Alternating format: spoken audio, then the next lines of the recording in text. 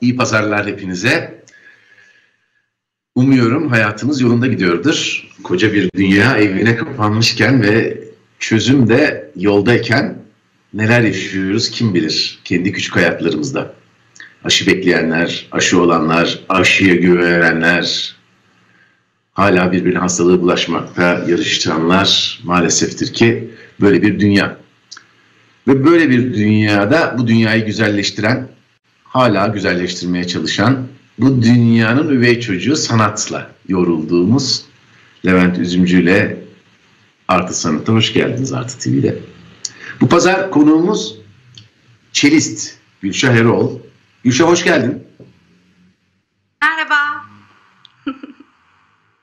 Merhaba. Ne kadar güzel seni görmek. Ne kadar güzel Sizi yine de. sanatla iç içe, yine müzikle çok teşekkür ediyorum. İç içe bir program yapabilmek. Evet, Gülşah sen bir çelistsin. Yani herhalde dünyanın bir kadına en çok yakışan müzik aletlerinden birini çalıyorsun. Ben senin şimdi çalmış olduğun orkestranın Anadolu Üniversitesi'nin senfoni orkestrasının daha oda orkestrası olduğu zamanlarda, ilk olduğu zamanlarda o orkestranın ilk elemanlarını sadece dinlemeye değil aynı zamanda izlemeye de giderdim. O kadar zarif insanlardı ki sizler klasik müzik sanatçıları o kadar zarif insanlarsınız ve enstrümanlarınızla o kadar zarif bir ilişki içindesiniz ki ben bunu her görüşümde bütün arkadaşlarıma söylüyorum. Bir insanın bir enstrümanla yakaladığı bu uyum, özellikle klasik müzik için söylüyorum. Sadece dinlenen bir şey değil, aynı zamanda izlenen de bir şey. Bunu bilmeni isterim, bunu e, böyle başlamak isterim. Çünkü genellikle e, insanlar bunu söylemekten imtina ederler. Evet Gülşah, sen benim mezun olduğum Anadolu Üniversitesi'nde hem okudun hem çalışıyorsun şu an onun senfoni orkestrasında. Sen Eskişehirli misin? Ee, aslında Ankaralıyım Levent Bey ve e, biliyorum ben sizin Anadolu Üniversitesi Devlet Konservatuvarı'nın ilk tiyatro bölümünden ilk mezunlarındansınız galiba değil mi? Üçüncü mezunuyum evet. Evet. Ben de çok yeni bir mezun oluyorum. Şimdi artık tabii çok fazla mezun veriyor. Ee, bence çok önemli. İlk 10 arasına girmiş olmanız, benim de keza öyle olmam. Ee, çünkü çok değerli bir üniversite ve de çok değerli bir konservatuar olduğunu düşünüyorum. Ee, yani İlkokul e, 4. sınıfta girdim ben konservatuara ve sonrasında da işte üniversiteden mezun olduktan sonra da ilk denediğim orkestra kendi okulumun orkestrası oldu E, ve akademik kadroya dahil oldum. E, Yaklaşık 15 yıldır da aynı orkestrada orkestra sanatçısı olarak hayatıma devam ediyorum. Ee, sizin bahsettiğiniz gibi sizin döneminizdeki e, çalışma arkadaşlarınız orkestramıza misafir oluyor, hocalarımız. Ee, küçük öğrenciler dahil oluyor. Ee, e, 2004 yılında kuruldu Anadolu Üniversitesi Senfoni Orkestrası. Ben 2005'te girdim. 2005 mezunuyum aynı zamanda. Ee, Dolayısıyla çok böyle kardeş bir e, orkestra ve okul öyle diyebilirim iç içeyiz yani hocaları, öğrencileri, orkestra elemanları her zaman bir arada oluyor. Bir akademik orkestra ve enerjisi her zaman genç bir orkestra e, ve de deneysel çalışmaları da açık bir orkestradır. Yapmıştır da. Yeni bestecilerin müziklerine destek olur. E, geçmiş yani 14. yüzyıl ya da 16. yüzyıl müziği olan klasik batı müziğinin dışında da yenilikçi e, çalışmaları olan birçok sanatçıya da destek veren bir orkestradır aynı zamanda.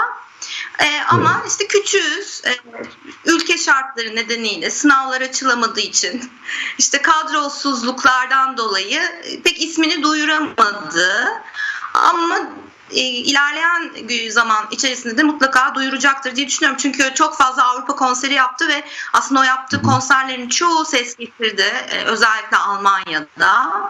E, bir Balkan turnesi yaptık hep beraber.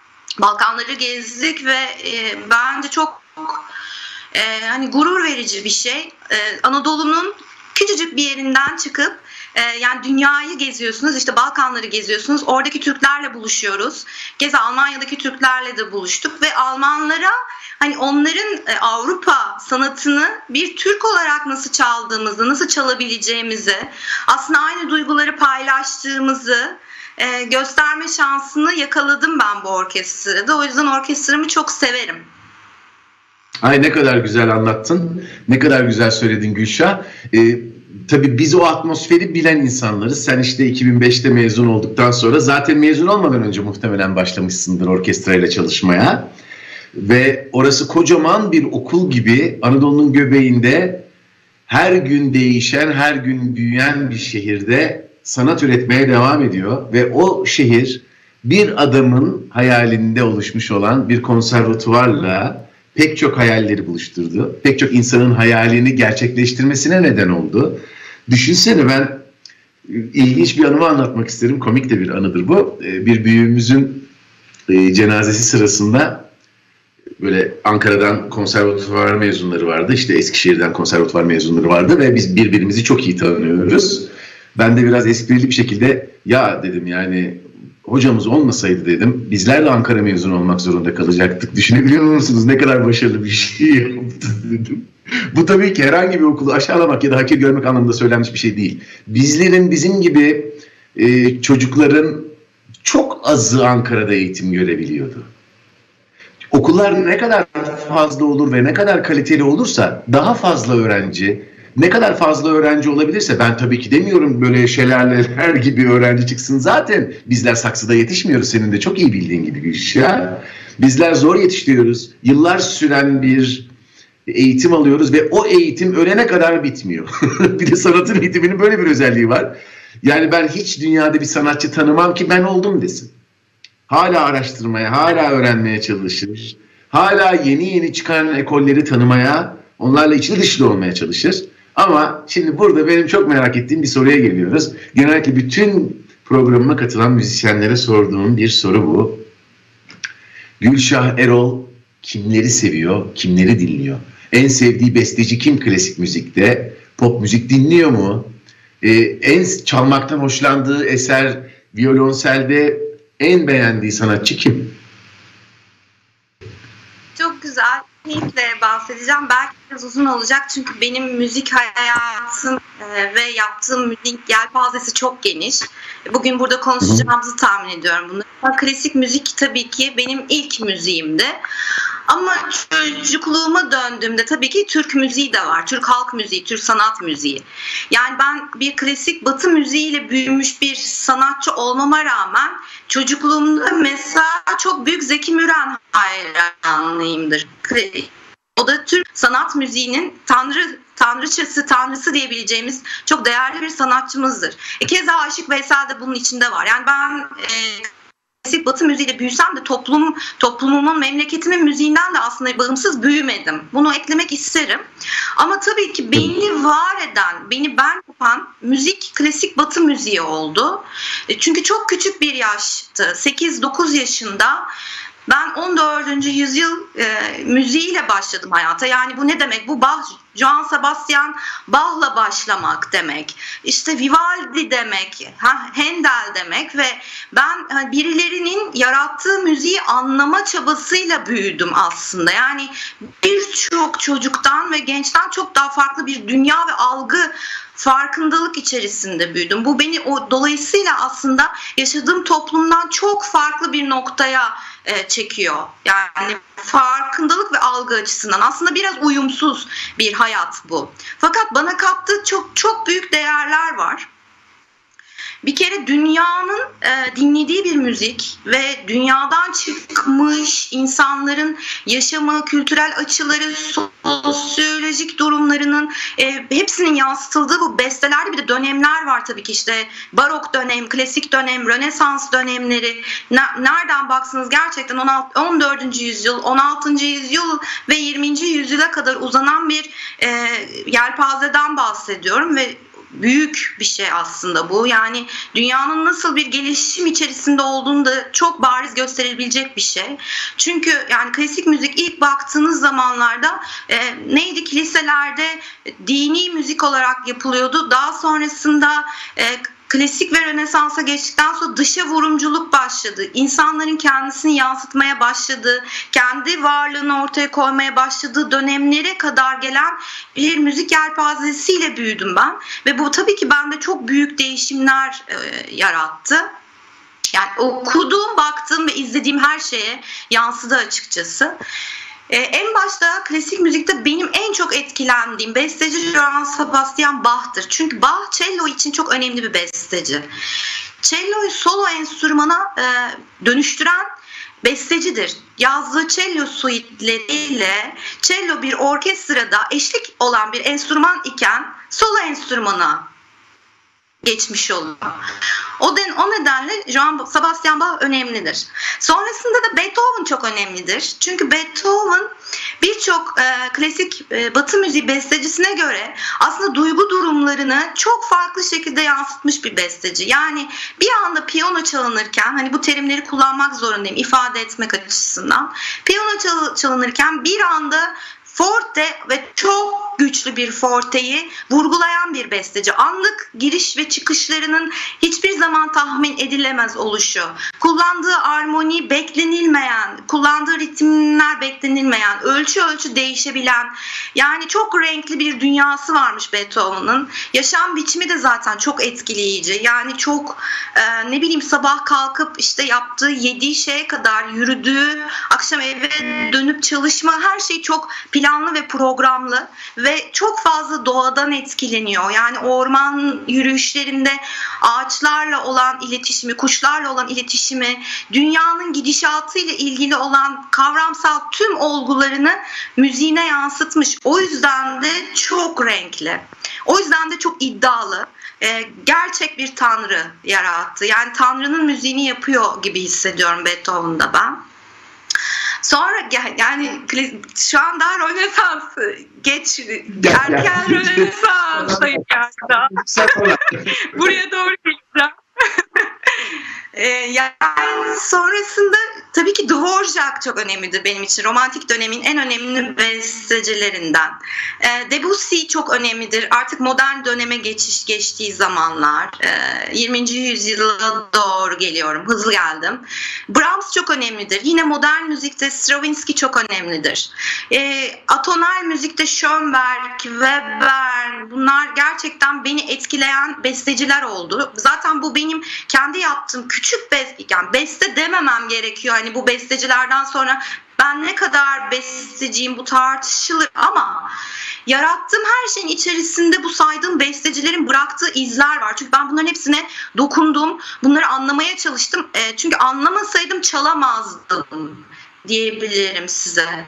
E, sonrasında e, 20. yüzyıla doğru geldikten sonra benim dünyamda özellikle üniversite zamanımda modern klasik batı müziğiyle karşılaşmam yani e, şey Shostakovich'i tanımam çok önemli bir ayrıntıdır. Çünkü Shostakovich bende büyük bir e, şaşkınlık yarattı. Çünkü atonal müzik bilmediğim bir şeydi ve Schönberg'le ben atonal müziğe e, Schönberg'de atonal, atonal müziğe Shostakovich'le contemporary yani modern müziğe geçiş yaptım.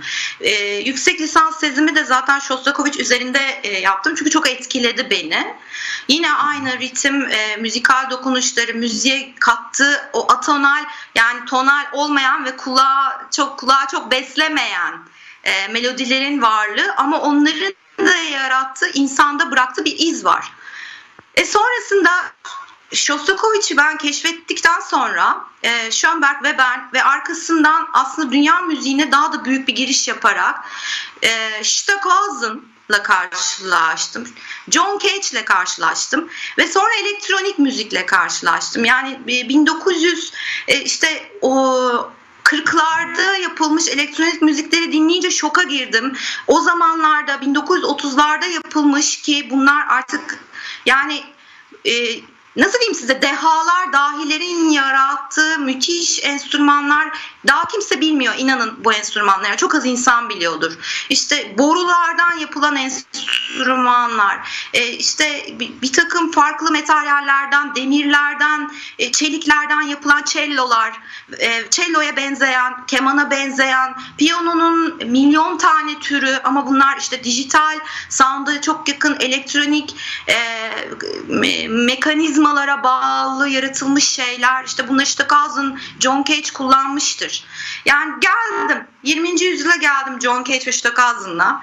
E sonra sında da e, benim dünyama üniversite bu Shostakovich zamanı caz girmeye başladı ve büyük Miles Davis hayranıyım.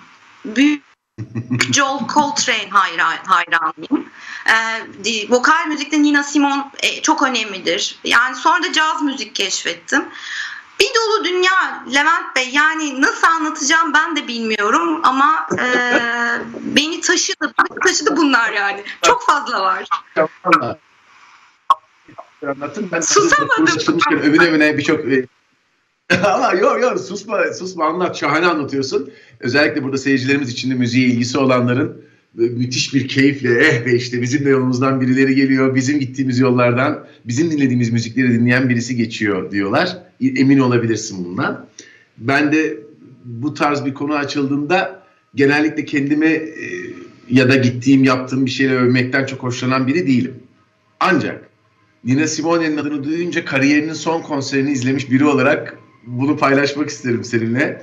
Şahane bir aktivist, şahane bir piyanist, şahane bir müzisyen, şahane bir şarkıcı. Onu sahne üzerinde izlemiş olmanın müthiş gururuyla şimdi senin de kendisini ne kadar burada anmış olman, bu kadar büyük ismin içinde onu da anmış olman beni de çok mutlu etti. E biraz o zaman sen bize Abstra'yı anlat. Abstra'yla Gülşah Erol nasıl buluştu? Abstra nasıl doğdu? Bize Abstra'nın yaptığı müziği nasıl tanımlarsın? Şimdi bu anlattıklarımdan sonra e, Abstra aslında benim e, ilk projelerimden biridir. 2010 yılında başlayan bir proje. İsmini de e, Amerikalı bir besteci Garrett Berry'den alan bir piyano eseridir aslında Abstra ve o eseri bulduktan sonra benim aklımda kalmıştı bu. E, ben şimdi e, klasik müziği içselleştirdikten sonra ve bu e, caza olan merakımla araştırdıktan sonra free improvisation e, ve artık cazın son noktası olan serbest caz e, durumlarını algılamaya ve dinlemeye başladığım bir dönemin sonudur aslında 2010 yılı. Dedim ki benim e, böyle bir müzik yapmam lazım. Şimdi free improvisation nedir aslında? Free improvisation e, caz e, bu iki, 1910 yılında New Orleans'ta başlayan caz akımının çok çok ilerisinde artık e, 20. yüzyıla doğru ortaya çıkmış tamamıyla isyankar e, tamamıyla e, e, isyankar aykır, aykırıcılığı ön plana çıkaran e, nasıl anlatabilirim baş kaldıran yani bu Nina Simone'un o zamanki aktivistliğinin en top noktasına gelmiş artık o cazın en top noktasına gelmiş e, cazın son noktasıdır. Free improvisation serbest doğaçlama. Derek Bailey'den e, işte e, Evan Parker'ın artık e, bunu ortaya koyduğu yani klasik caz tonal müziğin işte klasik e, kullanılan cazda kullanılan veya klasik müzikte kullanılan armoninin tamamıyla dışlandığı normalde kullanılan işte bebop, swing, cazda kullanılan e, akımların e, içerdiği ritmik temaların kesinlikle reddedildiği, her şeyin dışına çıkıldığı, do, daha da do, daha da baş kaldıran bir müzik yapısıdır aslında. Abstra'nın yaptığı müzik buradan geliyor. Yani zamanında Amerika'ya göç etmiş olan Afrikalı halkının halk müziği olarak yarattığı cazın daha sonrasında da e, artık kabul edilmeyen siyahilerin bağırdığı son nokta. Biz yaşıyoruz, biz varız ve bizim düşüncelerimiz, bizim varlığımız kabul edilmeli. Edilmiyorsa da biz gürültü yapacağız dedikleri bir noktadır aslında. Ve biz alt sırada evet. e, evet. Biz alt sırada olan e, enstrümanların yapısının dışına çıkarak çaldığımız bir dönemdi 2010-2015 arası. Yani bir cello dinliyorsunuz ama aslında bir cello dinlemiyorsunuz. Cello'dan ben kadar farklı ses çıkarabilirim onun üzerine gidiyordum. Bir davul dinliyorsunuz ama davul bilinen bir ritim kullanmıyor. Rastgele çalıyor. Canının istediği gibi çalıyor. O günkü ruh haline göre çalıyor. Ortamdaki etkileşim neyse onun oradan aldığı çalıyor. Kızgınsa kızgın çalıyor. Çalmak istemiyorsa çalmıyor. Veya benim üstüme çıkmak istiyorsa benim üstüme çıkıyor. Ben onun üstüne çıkmak istiyorsam ben onun üstüne çıkıyorum. Keza saksafonlar birbirine eşlik de edebilir. Birbirinin dışında da apayrı bir dilde de konuşabilir. Free improvisation aslında kavramsal şeylerin, hayal gücünün, duyguların tamamıyla abartılı bir şekilde yansımasıdır. Ama asıl duruşu asilidir Levent Bey. Peki Gülşah bir şey soracağım. Ee, bu serbest doğaçlamayı siz yaptıktan sonra sevdiğiniz bir şey olduğunda onu tutmayı nasıl beceriyorsunuz? Onu bir kayıt altına mı alıyorsunuz yoksa bak şunu şöyle yapmıştık diyorsunuz da tekrar aynı duyguyu taklit mi ediyorsunuz yoksa bunu nasıl yapıyorsunuz? Yoksa her konserde hadi bakalım Allah ne verdiyse giriyoruz mu diyorsunuz? Şimdi bir sürü çeşidi var aslında. Hani ben Avrupa'da da çok fazla özgür doğaçlama veya özgür caz da başka bir şey. Ee, çok bulundum e, bazı konser festivallerde. Dolayısıyla teknikler çok farklı. Grupların kullandığı biçimler de çok farklıdır. Biz Astra'dan bahsetmem gerekirse biz e, provalarımızda kesinlikle Allah ne verdiyse bir giriyoruz, bir başlıyoruz. Veya şöyle diyoruz e, bir tema tema yoktur aslında ama birisi başlar bir hisle başlar bir ritimle başlar ve onu ne kadar bozabiliriz veya onu ne kadar değiştirebiliriz ne kadar farklı noktaya taşıyabiliriz. Her enstrüman biraz buna bakar veya eşlik eder veya eşlik etmez. Kontrast deriz biraz da. Birisi orada düşük çalıyorsa birisi yüksek çalabilir. Birisi hızlı çalıyorsa birisi yavaş çalabilir. Birisi melodi yaparsa o melodiyi ben alıp taklit edip bozarak çalabilirim gibi. Ee, onun dışında şöyle şeyler olabiliyor e, dokusal çalalım dediğimiz zamanlar oluyor. Mesela A diyoruz konser çıkmadan önce. Birinci parçamız dokusal olsun. Dokusal ne demektir? İşte enstrümandan doku sesleri çıkartma. Bir takım e, materyaller kullanarak. İşte davulcu fırçasının ucunu belki tersini kullanır. Ben mesela e, şeyler kullanıyordum çengelli demir halkalar kullanıyordum, mandallar kullanıyordum, zincirler kullanıyordum. Veya işte evde e, şey e, milkshake yapılan o alet vardır ya dönen. Onu mesela tellere e, dayıyordum ve onun elektriğini, onun döngüsü tellerin titreş ya arş yerine o aleti kullanıyordum örneğin. E, bu, bu şekilde dokular oluşturuyorsunuz ve o dokular tamamıyla kişinin, müzisyenin e, karakterine bağlı bir şeydir. Ve doğaçlama ee, özellikle free improvisation anlık beste olarak geçer. Bir daha aynısını çalamazsınız. Bir daha taklit etmeniz mümkün değildir. Her seferinde farklıdır. Dolayısıyla eğer siz o performansı yayınlamak veya duyurmak istiyorsanız mutlaka kaydetmek zorundasınız. Bir daha aynı şey olmayacak. Mesela 2010 yılında ben Abstre yarattığımda 2011 yılında iki bilgisayar bir cello Borusan Müzik Evi'nde biz inanılmaz değişik bir konser verdik. Surround sistem oluşturduk. 6 tane farklı büyük hoparlörlerin olduğu, iki bilgisayarın birbiriyle bağlantı içerisinde olduğu ama aynı zamanda ayrışabildiği, cello'nun da iki bilgisayara bağlandığı ve benim yine size bahsettiğim gibi bazı materyalleri kullandığım, onların da kendi dış doğadan edindikleri sesleri, analog sesleri dijital ortamda anlık dönüştürmeleriyle e, gerçekleşmiş bir performanstı. Ne yaşadı orada izleyici? Orada izleyici bir cello'dan kuş sesi duydu, bir dalga sesi duydu, bir rüzgar sesi duydu ama asla müzik duymadı. Yani kimine göre müzik duymadı? Aslında müzikti. Gülşah inanılmaz anlatıyorsun. Ee, peki insanlar Abstra'ya, Abstra'nın konserlerine pandemi öncesinde Eskişehir'de mi gidebildiler sadece? Örneğin siz gezebildiniz mi? Biraz önce senfoni orkestrasından bahsederken Balkanlarda, Almanya'da çaldığınızdan ve orada e, Türklerle buluştuğunuzdan bahsetmiştin. Peki Apstra için böyle şanslar oldu mu ve Gülşah Erol için? Apsra ve Gülşah Erol için. Evet. Apsra şu ana kadar İstanbul'da konser verdi. E, çünkü yapı itibariyle, müzikal algısı itibariyle aslında her yerde çalabilecek bir müzik türü değil. Çünkü daha henüz insan Türkiye'deki sanat e, sanat severler daha yeni yeni e, bu müziğin ne olduğunu e, bizler sayesinde anlamaya başladı. Çünkü daha öncesinde ıslak köpek vardır. E, köklü özgür doğaçlama topluluğudur ki ben de keza onun üyesiydim. Ee, başka bir grup daha vardır, konstrüktür. Onlar biraz daha özgür caz yaparlar. Yani aslında bu müziğin temsilcileri Türkiye'de parmakla sayılıcı yani şu beş kişi belki diyebilirim size.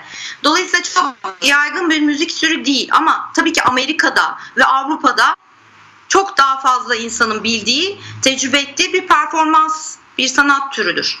Dolayısıyla ben e, Türkiye'de gezdiremiyorum şu an Apsra'yı çünkü Apsra'yı tanıtmak çok zor. Çünkü kulağa hitap eden bir müzik yapılmıyor. Orada insanlara tamamen deneyim yaşatmak için yani enstrümanlardan çıkan farklı seslerin o farklı seslerin birbiriyle uyumu ve uyumsuzluğu, dengesi veya dengesizliği, oradaki bir araya gelen müzisyenlerin e, enerji olarak, duygu olarak nasıl birbiriyle uyum sağladığı, nasıl cevap verdiği, nasıl konuştuğunun çok e, değişik bir yapısıdır bu müzik. Dolayısıyla ben bunu Eskişehir'e şu şekilde taşıdım. Islak Köpeği Eskişehir Caz Festivali, Amatör Caz Festivali'ne misafir ederek e, e, o Eskişehir halkına biraz duyurmaya çalıştım ama konser sonrası bu ne biçim müzik bu müzik değil e, ondan sonra kapıları çarpıp gidenler yani böyle bir deneyim. Yani bunu açığız zaten bunu kabul ediyoruz. Ya da şu eleştiri bunlar enstrümanlarını çalamıyorlar. Çalamadıkları için bu enstrü, e, bu müziği yapıyorlar gibi milyon tane e, şey var yani bakış açısı var. Ama Gülşah benim anladığım kadarıyla e, senin bu Apsara ve Gülşah Erol'da bahsettiğin ıslak köpekte ve bu performanslar sanki bir parça o müzik aletini çalanın o müzik aletiyle bir tür terapisi gibi. Ve bir band halinde, bir grup halinde bunu yaptığımızda da o terapiyi bir uyumla yapmaya çalışıyorsunuz. Yani bir grup terapisi gibi oluyor. E yani şimdi bununla ilgisi olmayan birisi, kulağa buna alışık olmayan ya da böyle bir kanalı olmayan birisi için aslında sizin rahatlamanızı, sizin duygularınızla müzik aletinizin sınırlarını zorlamanızı kendilerine hitap edecek bir şey olarak görmeyebilirler. Bence bu çok anlaşılır bir şey. Çünkü müzik en nihayetinde çok ağır bir matematik ya biraz da hayatınız boyunca senin tüm bu andığın koskoca bir havuzun içerisindeki müzisyenler dünyanın milyon tane tarafından gelmiş bu kadar insan aslında o matematiği hep o matematiğin içinde kaldılar. Ama e, Apsara ve Gülşah Erol'un yaptığı şey bu matematiğin tamamen dışına çıkıp matematikteki bütün sayıları yok edip e, bambaşka bir şey gibi geldi bana. Sanıyorum da sen de buna katıldın anladığım kadarıyla dediğim gibi Levent Bey yani bu aslında seyirci için e, şöyle güzel bir deneyim. Şimdi bir cello'dan cello sesi değil de başka sesler duyuyorsunuz.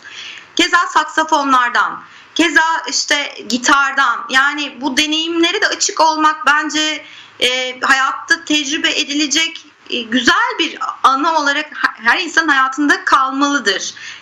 Yani bu bir kere olsun deneyimlenmelidir diye düşünüyorum ben. E, ve de e, bundan zevk alan da çok güzel dinleyicilerimiz var. Benim Apsra konserlerim gerçekten tıklım tıklım oluyor. Özellikle Borsa Müzik Evi konserlerinde. Çünkü ben Avrupa'nın çok önemli caz müzisyenlerini davet ediyorum Apsra'ya. Modern caz müziğin temsilcileri olan Peter Brötzmann'la mesela biz e, konser yaptık. Peter Brötzmann nereden bakarsanız günümüzün Miles Davis'i gibi bir adamdır. Yani bu adamlar hayatlarını bu müziğe adayarak geçirdiler. Emin olun ki Peter Brötman'ın çok nadirdir e, normal standart caz çaldığı bir şey duymanız. Yani her zaman serbest caz çalmıştır. Ee, o akımın temsilcisidir ve e, yaptığı müzik dinlendiği zaman da aslında ne için çaba sarf ettiği de ortaya çıkıyor üzerinde durduğu bir düşünce var. Yani e, popülerist şeylere karşı duran bir müziktir. Free improvisation ve free jazz. Yani dayatılan şeylerin e, şeylere karşı olan bir tepkidir. İşte dediğim gibi bu e, önümüze devamlı konulan reklamlar gibi, önümüze devamlı konulan dizi filmleri gibi. Yani hiçbir şey yaramayan, aslında bizi gittikçe körleştiren, düşüncelerimizi e, daha iyi daha iyi noktalara taşıyabilecekken aşağı çeken bütün popülist yaklaşımlara dur demek için var olan bir müziktir. Evet Gülşah cazın kendi içerisindeki bu protestosundan bu Afrika'dan gelen on binlerce, yüz binlerce kölenin yaratmış olduğu dünyadan ve o dünyanın yaşamasından da bahsediyoruz müzikte. Peki müzik günümüzde sence özellikle sözlü olmayan müzik dünyanın bu kötü gidişine, kapitalizmin içine düşmüş olduğu bu çıkmaza nasıl bir karşı çıkışta bulunabilir? Tekrar ediyorum sözü olmayan müzikten bahsediyorum. Yani bir besteyi duyduğumuzda biz evet ya bu sistem artık bizi karşılamıyor nasıl deriz? Hiç düşündün mü bunu bilmiyorum ama çok merak ediyorum. Ee, işte bahsettiğim gibi free improvisation ve free jazz müzik bunun temsilcileridir. Yani bu popülist olan her türlü yaklaşıma karşı duran, isyankar ve e, aykırı ta- tavrı sürdürür ve dolayısıyla bu müziği yapan insanlar da gerçekten popülist bir yaşamı temsilcisi kesinlikle değildir. Aksine gerçekten do it yourself yani her şeyi kendin yap veya tüketici bir topluma karşıdır, vegandır, e, hayvan hakları, insan hakları, e, eşitlikten yanadır, e, ırkçı kesinlikle değildir ve e, bu bunlar zaten belirli isimlerin yaptığı müzikler ve o ve artık tür olarak da belli. Free improvis improvisation ve free jazz müzisyenleri bilin ki sisteme karşı duran müzisyenlerdir. Ve o müzikler de her zaman doğru olanı savunur. Bu şimdi e, genellikle bu sisteme karşı durmak sanatın birçok bölümünde karşımıza çıkıyor. Çünkü sanat da e, sadece karanlığı değil aydınlığı da anında ilk hisseden insanlar, sanatçılar da. Genellikle Türk sinemasının son dönemlerinde ve Türk müziğinin son zamanlarında, Türk işte pop müziğinin son zamanlarında ilginç çalışmalar, ilginç gruplar, ilginç sinema filmleri çıkmaya başladı. E, bunların iki tane güzel örneği var. Biri Gişe Memuru, biri de Sarmaşık ve bu iki filmin de müziklerinde senin de bir parmağın var. Acaba senin sinemadaki müziğe bakışın nasıl? Çünkü sinema bir yandan da müzikle bizi çok güdüleyen de bir şey. İstediği atmosferi müzikle çok güzel sağlayabilen bir şey. Sen nasıl bakıyorsun sinemaya, sinemadaki müziğe?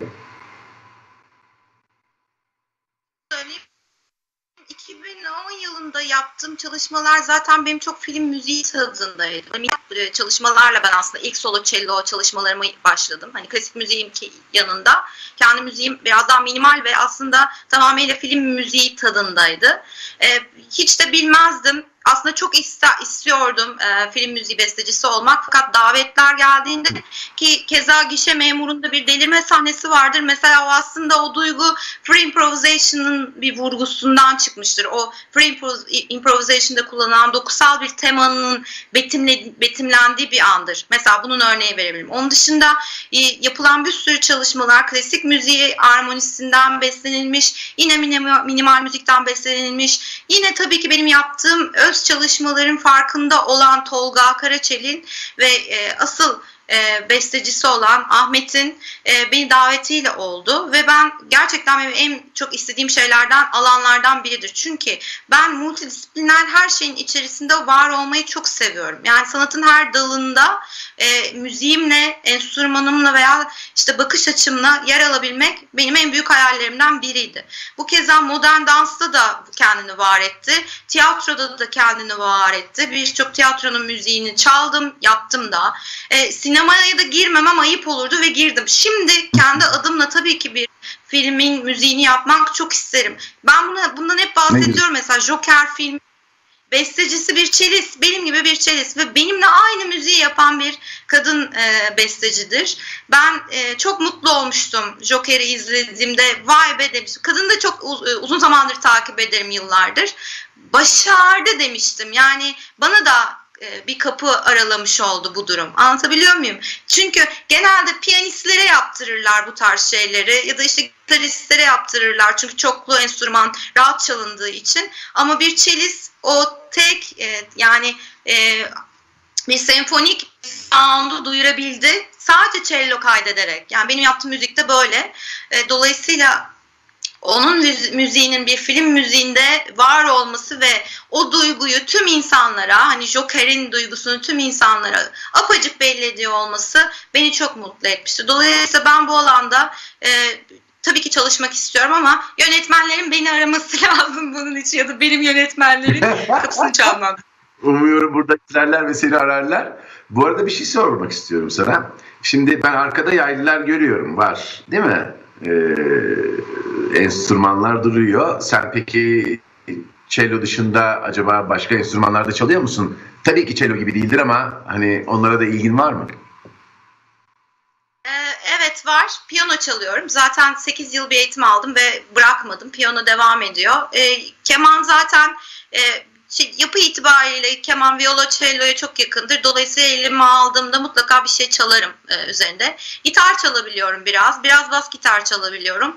E, davul çalabiliyorum ama biraz daha serbest doğaçlama içerisinde davul çalabiliyorum. Çünkü o bir özgür bir tavır olduğu için e, davul çalmışlığım da vardır bir iki konser. E, İtalya'da bir festivalde bir arkadaşım e, genelde vardır böyle. Mesela şey e, caz müzikte e, cello çok kullanılmaz, kullanılmamıştır ama işte böyle nasıl diyeyim 1949 yılında Oscar Petitford çok önemli bir basçıdır. Bir big band orkestrasında cello ile geliyor ve herkes şoka uğruyor. Nasıl yani şimdi cello mu çalacaksın? Cello'nun akordunu değiştirerek e, basa biraz daha yakın yaparak o Big Band'de mesela cello çalıp büyük bir şok yaratmış. Sonrasında da 1960 yılında bir tane My Little Cello diye bir albüm yapıyor. Bir basçı olarak cello albümü kaydediyor. Yani bazı müzisyenlerin e, multi enstrümanistleriz vardır yani böyle eline aldığı her şeyi çalabilmek gibi.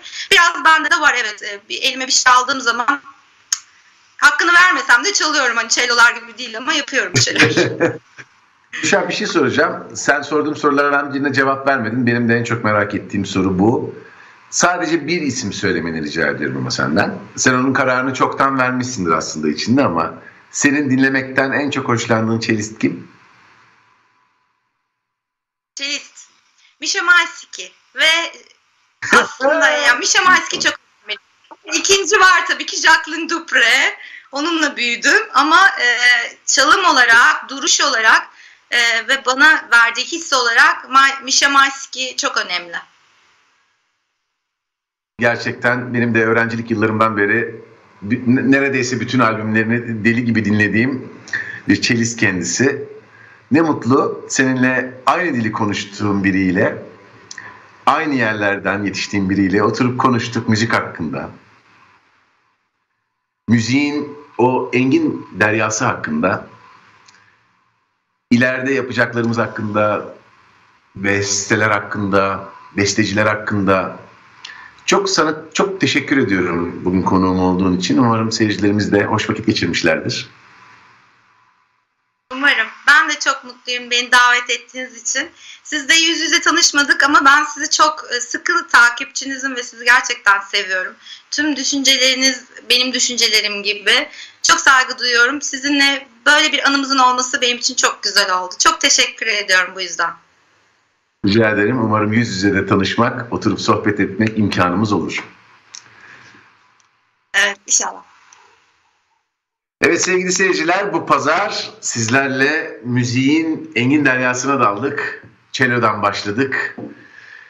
Özgür doğaçlamaya kadar uzadık. Bestecilerden konuştuk, bestelerden konuştuk. Cello'dan konuştuk, piyanodan konuştuk, cazdan konuştuk. Güzel bir sohbet oldu. Umuyorum siz de keyif almışsınızdır. Umuyorum sizin pazarınız da bizlerin pazarı kadar güzel geçiyordur. Hepinize iyi pazarlar, sevgiler.